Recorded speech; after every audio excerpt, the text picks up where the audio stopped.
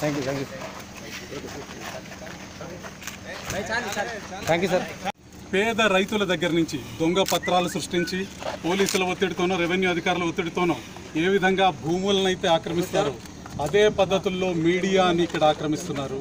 ఈరోజు కొత్తగా తాజా ఉదాహరణ మోజో టీవీ. మోజో టీవీ నాకు కొంతమంది మిత్రులు ఉన్నారు వారు కష్టపడి పెట్టుకున్న మోజో టీవీని.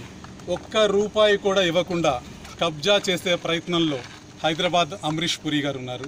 ఈ అమరీష్ పురి గారు కొంతమంది పోలీసుల సహకారంతో పోలీసుల్లో చాలామంది మంచి వాళ్ళు ఉన్నారు.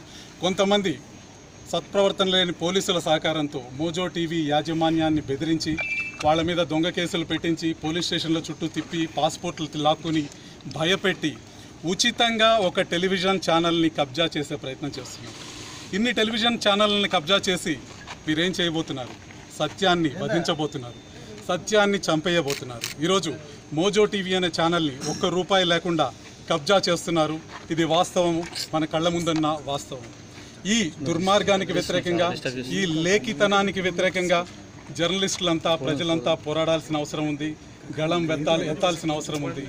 పత్రికా స్వేచ్ఛ కోసం సత్యం బతకటం కోసం జర్నలిస్టులంతా పిడికిలెత్తి నిలబడాల్సిన అవసరం ఉంది. మీ అందరి సహకారాన్ని నేను కోరుతున్నాను. ప్రజలందరి సహకారాన్ని కోరుతున్నాను. ఈ అన్యాయానికి ఈ దుర్మార్గానికి ఈ లేఖితనానికి ఈ నీచత్వానికి వ్యతిరేకంగా మనమంతా కలిసి పోరాడదాం.